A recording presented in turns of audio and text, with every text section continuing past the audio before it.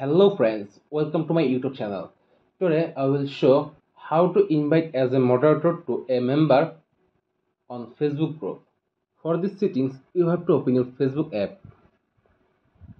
Then you have to click three dot icon and click to groups option. After clicking groups option, you have to go to your group. Then you have to click manage icon. Then you have to click people option then you have to click the three dot icon which member you wanted to make admin or group moderators. Then click to three dot icon and click to invite as moderator option. Then click to make moderators. Moderators are like admins but with limited controls.